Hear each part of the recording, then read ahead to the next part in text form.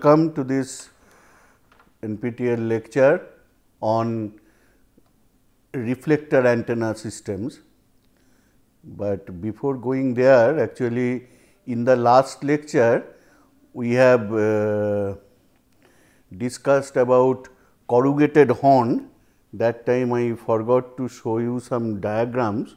So, a corrugated conical horn this is conical, but a corrugated section looks like this in the input feeding section there is a tapered thing and then in the radiating zone or near the aperture there is this corrugation. Now, this is the you can say side view, but if we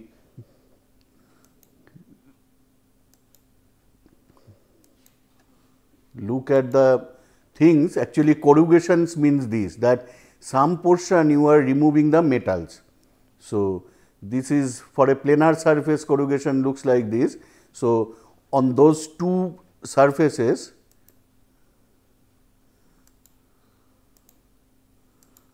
on this surface these are the corrugations that means these portions are metallic, but between portions are non-metallic similarly here. So, that is extending throughout the surface.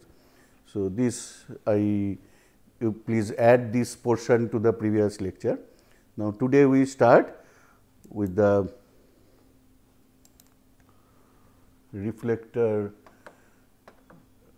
antenna oh, sorry. Hmm. So, at microwave frequencies this is mostly used antenna and majority of satellite links use these reflector antenna systems. The geometry of the reflector system you can see here we are seeing it as a paraboloidal because this is actually the conic section paraboloid which is obtained by revolving this parabola about this axis. If this is the axis of the parabola, if you revolve it, you get the paraboloid. So, the reflector is the paraboloid. We have a feed horn at the focus of the paraboloid. So, now here uh, please understand this dashed line that we, that is called a plane because actually if you uh, think of a dish antenna all of you have seen now, think that if I take from one edge to other edge, if I take a plane, that plane for the paraboloid will be a circular disc. So, this is a plane thing, this is called aperture, aperture surface. So, actually it is a circular disc, planar disc for this paraboloid thing. So, rays that are going from this feed, if they go here, after getting reflected from the paraboloid that becomes parallel to the axis. Similarly, here now uh, the this diameter of this aperture is 2a or radius is a. Now, this this is an important ratio as we will see that this f by 2a or f by d that is a specification for a parabola because it determines all its radiation properties. f by d ratio people generally call it. now, we first find out because we will have to put our previously derived result that if I know the aperture field distribution that means if I know the field distribution on this aperture I will be able to say what is the field that we have seen the by Fourier transform method etc. So, we will have to uh, know what is this apertures uh, equation etc. Now, parabola equation we know. So, from the basic geometry now we will derive the geometry of this thing. So, the other portions of the drawing I will come later. So, I can say that let me draw a parabola and this is its point let us say the focus I am calling O and the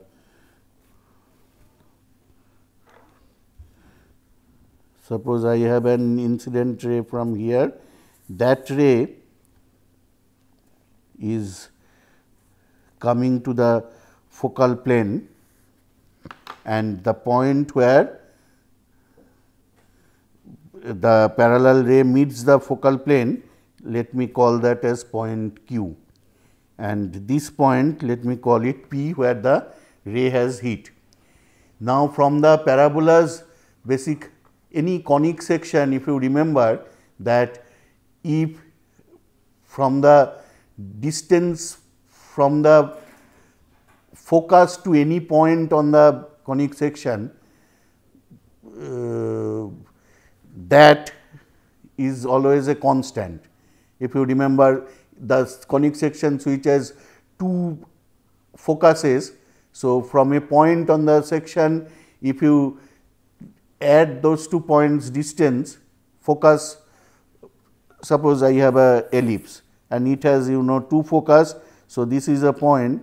So, sum of these two distances is always equal to twice of the focus.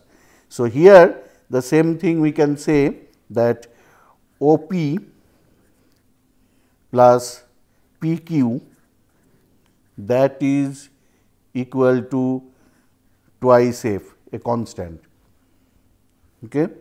Now, you can see from the geometry that this angle is theta. So, if this this rays or this distance is r, then this will be r cos theta.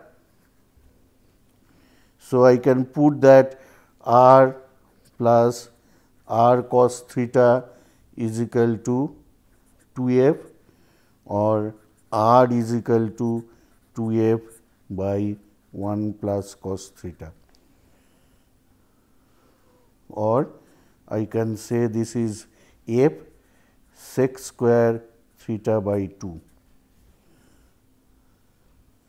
So, this is the this r that means if I take the r here then the corresponding theta will have to say and this equation will be satisfied. So, basically the paraboloid is a locus of this point r. Okay. Generally the horn is placed at the primary focus as a feed. Now, here actually the analysis uh, for that we will assume that since this is a microwave thing, uh, we assume that ray optics which has a strong foundation from Maxwell's equation. Actually, Sir Jagadish Bose proved that optics also obeys Maxwell's equation for the first time he proved it, because Maxwell did not say that explicitly. He just conjectured probably these laws which I have found they also Uh, are valid for optics, but Sir J.C. Bose proved it. So, we will take help of ray, ray optics at these fields and it had been seen that those laws hold good here because the results obtained after these fully matches with the experimental observations. So, the relevant results that I will take that is called that locally all the waves are plane waves. Actually, in ray optics this holds good because their wavelength is very small, but here also we will assume this that locally all the rays. So, first thing is the uh, waves travel in a ray that we will assume here also um, actually in a tube of ray because we have a beam. So, that is why tube of ray and locally they behave as a plane wave and propagates in straight line along straight rays in homogeneous medium. At a boundary between medium they are reflected or refracted at the tangent plane according to Snell's law and the Fresnel reflection coefficient holds good. The power is viewed as flowing in flux tube and if a flux tube is reflected from a perfectly conducting surface, the power in the reflected flux tube equals that in the incident flux tube. These are all these results you know, just I am saying it that the electric and magnetic fields are transported along the flux tubes. The electric and magnetic fields are mutually perpendicular and orthogonal to the rays, because rays are the direction of propagation since it is plane waves. So, electric and magnetic fields are orthogonal to these. Okay.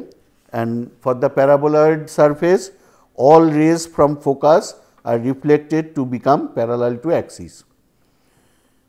At the edges, the rays are diffracted, but we will neglect the effect of diffraction in this analysis. I already said that the aperture is a plane in this case which is circular disc just in front of the surface.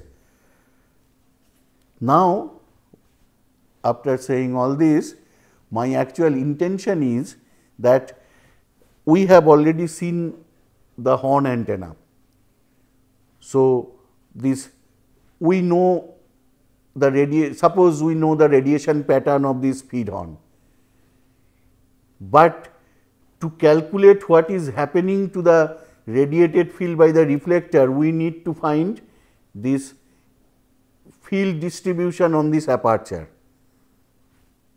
So, we now relate that if I know this power radiation pattern of the feed, what will be the aperture field distribution? This will be our first task.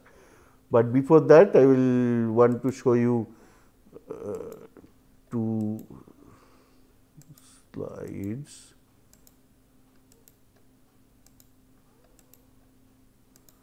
Ah, whatever I said that reflection of a flux tube if you have a plane reflector then this is the incident flux tube and then this is the reflected flux tube what I said this is the central ray, there are other rays, these are the two edge rays. So, you see that E and H field, they are orthogonal. So, E, H and the ray, they form a triplet, etc. So, this is plane reflector, but we do not have a plane reflector. So, uh, we will have to see some uh, next slide. Ah. So, our case will be like this, we are having an incident tube, then that incident tube will go here uh, on the one ray is shown, but actually here also there will be a tube and incident tube thing and the reflected tube total power that should be conserved, because this we are assuming to be a conducting surface.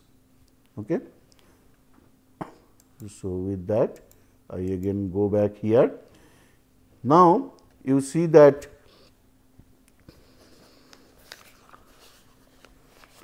Actually, uh, you see that there are two ways by which this paraboloid reflector can be analyzed. One is the way I am saying that aperture field I will calculate and from aperture field we know what is the far field etc. that yesterday we uh, in the last lectures we have derived. But there are also people can say that I can also find out at this paraboloid reflector what is the current because this is not an aperture problem because this is a real uh, uh, paraboloid conducting surface is there. So, I can find the conduction current here and from that also I can find the thing. Both methods are there. This is called induced current method by which wire antennas are analyzed. So, that can be done. Also, this aperture is a uh, aperture. So, that is why here from the field we do. So, we will take the aperture field method because it will help us to illustrate what we have derived for planar antennas etc. So, for that let me introduce that suppose g theta phi is the power angular radiation pattern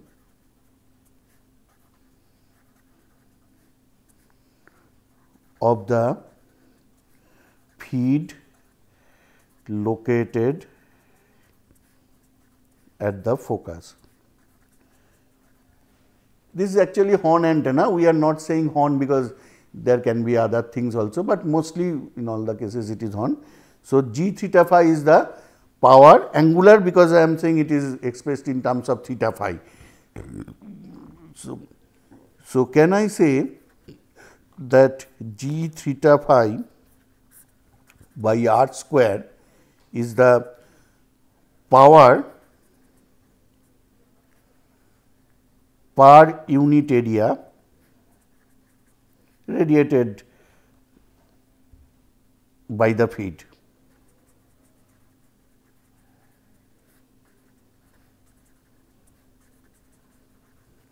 Okay.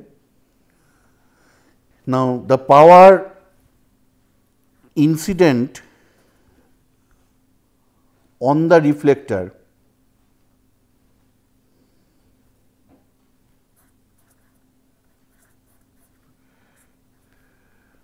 power incident on the reflector in the flux tube of angular width d theta d phi is what? You see that I am saying that I have this now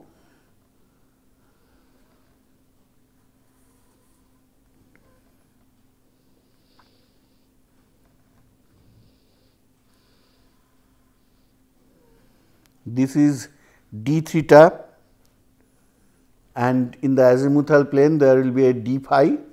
So, in that tube how much power is there? Let that is called P i theta phi. So, that I can easily calculate because I know this.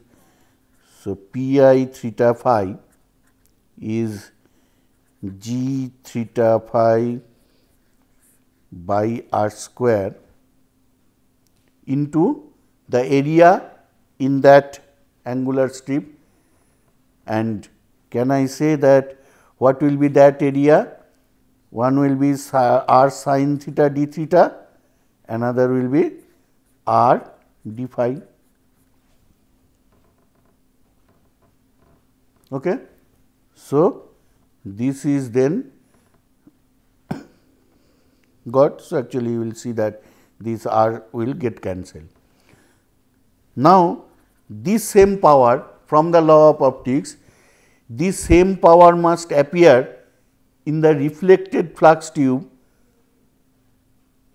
and for the reflected flux tube you see that so suppose this d theta d phi this power has gone here this is that tube incident tube.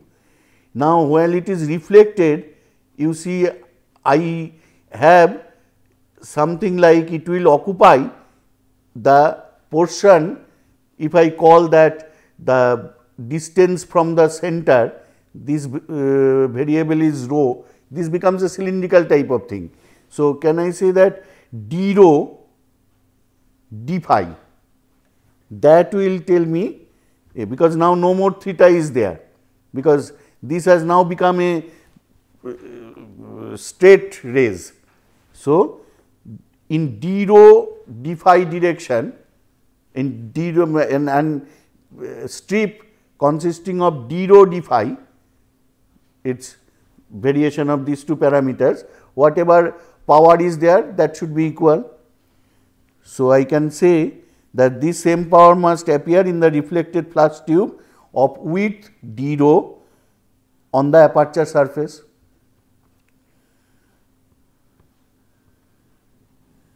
So,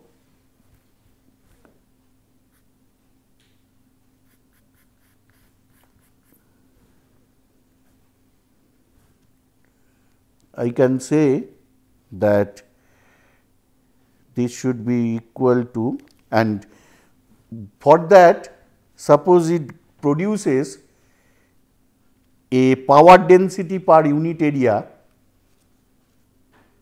In the aperture surface it will produce a power density per aperture area in the unit surface. And let me call that or let me change it that let me call this P rho phi is the power density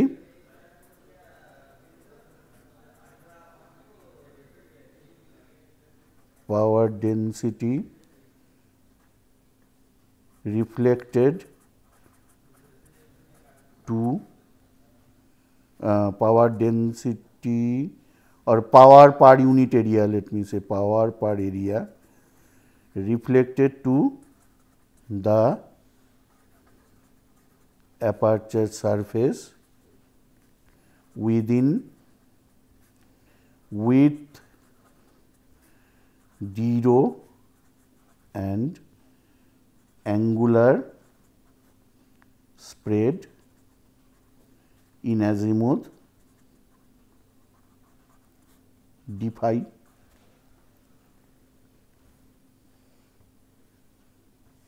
So, I can say that P rho phi then rho d phi and d rho.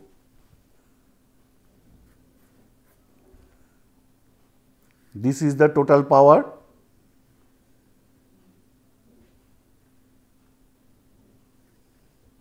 That should be equal to that pi theta phi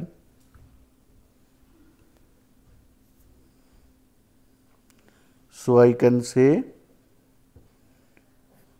that this pi theta phi already I have shown that it is g theta phi sin theta d theta d phi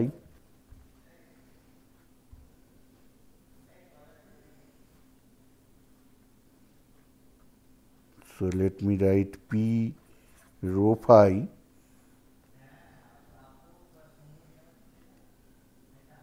and in place of this rho to cancel out I write rho is what from the figure you can see it is nothing but r sin theta. So, r sin theta d rho d phi is g theta phi sin theta d theta d phi. That solved my problem. So, I can say that also since rho is equal to r sin theta, okay, so let me simplify this first. So, this is p rho phi will be g theta phi 1 by r d theta d rho. Okay. Now, this d rho d theta needs to be evaluated. I know what is the relation between rho and theta. So, I have rho is equal to r sin theta. So, d rho d theta will be 2 f. Also r sin theta means I can put r value I can put 2 f so that it become constant otherwise r is a variable, but 2 f sin theta by 1 plus cos theta. Now, you differentiate with respect to this that becomes 2 f by 1 plus cos theta. So, now you put it there. So, you get p rho phi Siggy.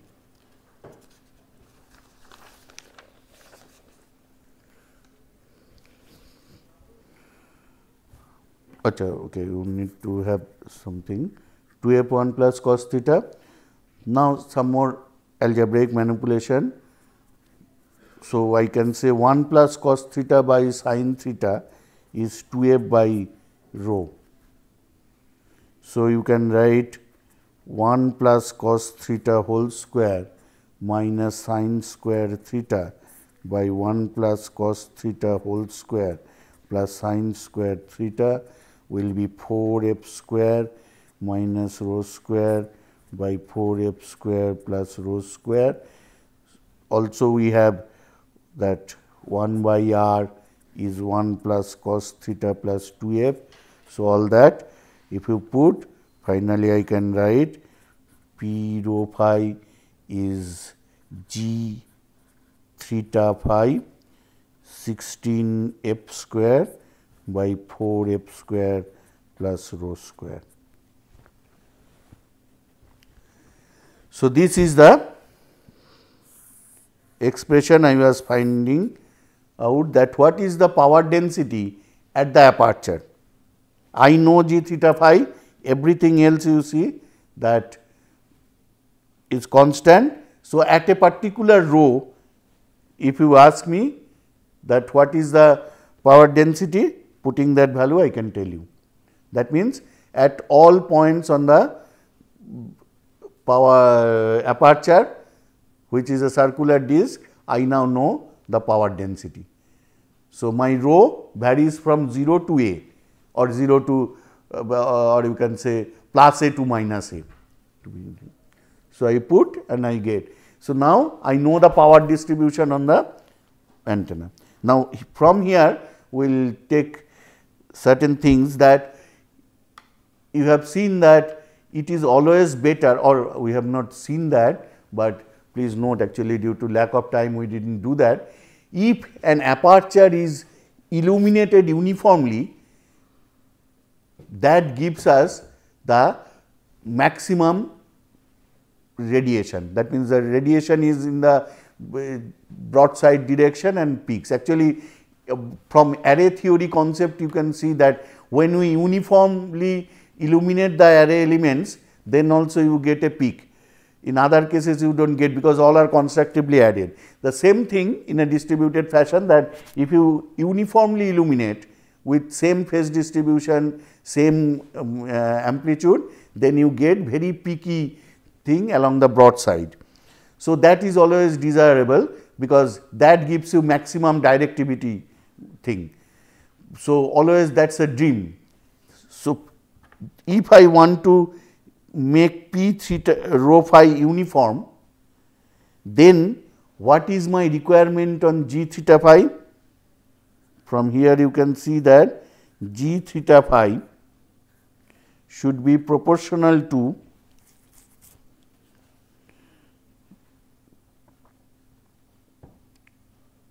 this um,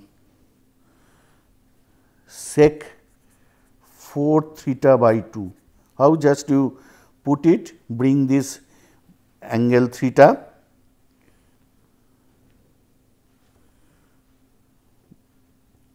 because these things actually this this relation that the 1 plus cos theta by 2 f actually by putting angle or you can say that see the other way that g theta phi suppose a uh, a thing.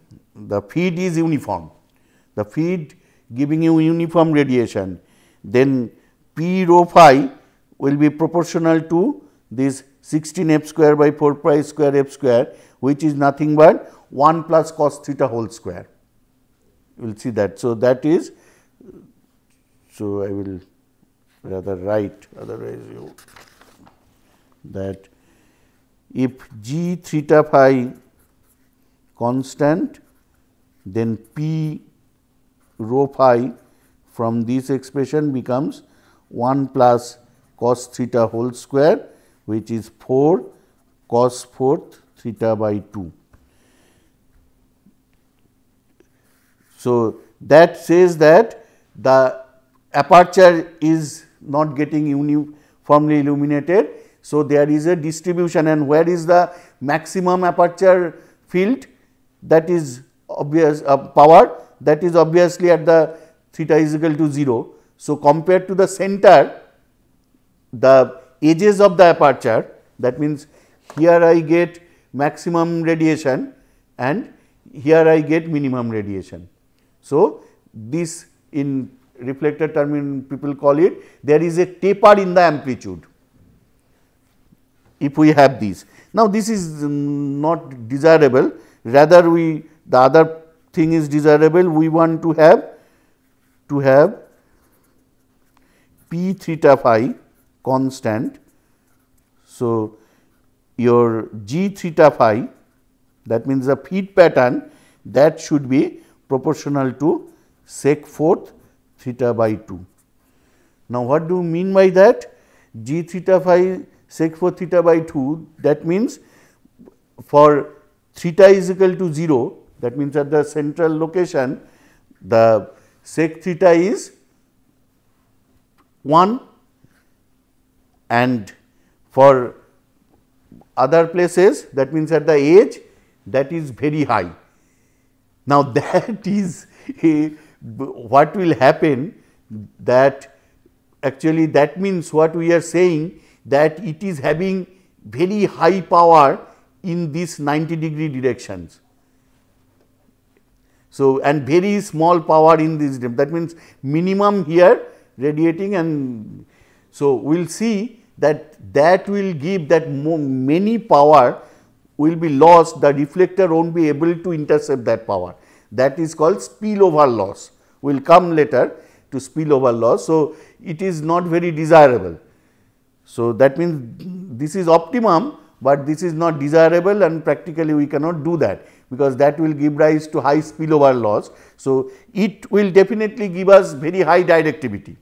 This choice if I make I will get very high directivity, but the efficiencies they will kill that directivity. So, that is why we will see that this is not done. And also here I will say that wh what is the angle? Because you see that though I can make this paraboloid reflector come to this pi by 2, but we do not do that. Because then Uh, our aperture becomes very small. So, up to certain angle it is there. So, that is called angular aperture. That means, if I have a paraboloid, so this angle is called psi or psi by 2. So, this angle is also psi by 2. So, that means angular aperture of the paraboloid is psi.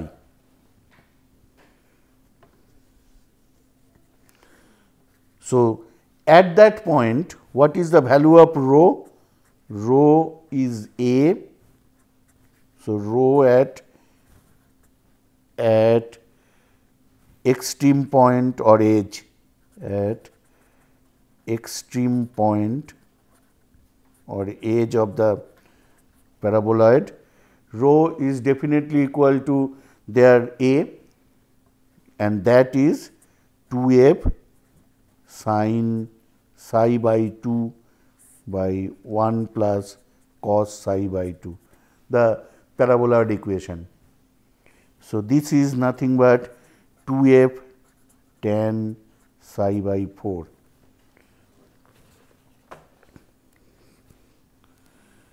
So, I said that basically you see this psi is governing the whole thing. So, this thing people also sometimes this whole thing is specified by specifying the f by d, d means 2a. So, f by 2a is what? 1 by 4 cot psi by 4.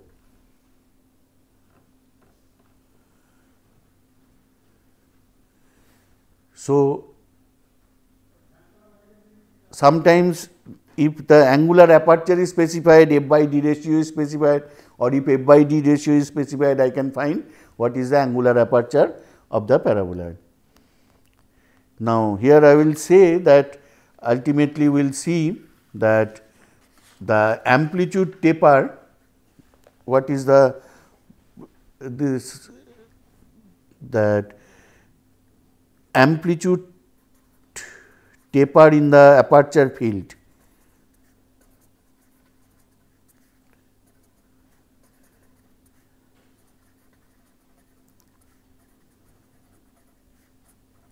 this reduces the directivity because this increases the beam width.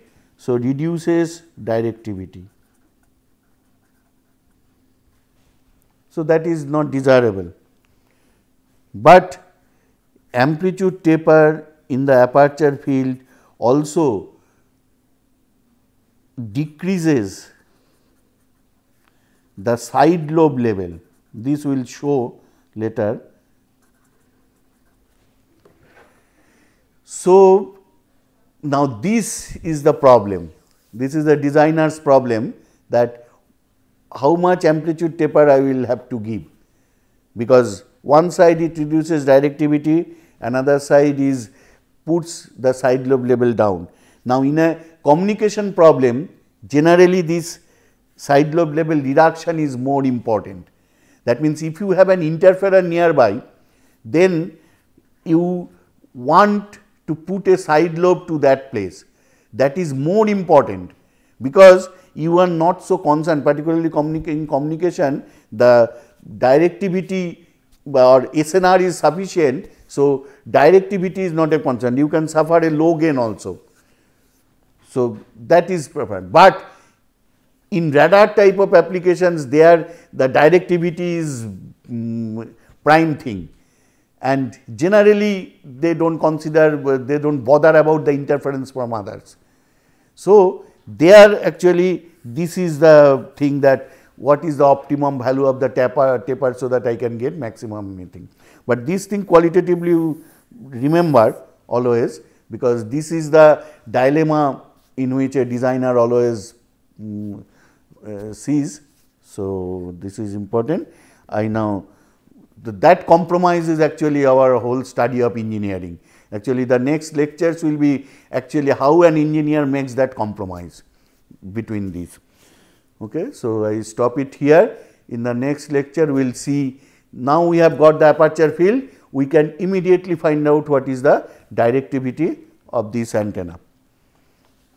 Thank you.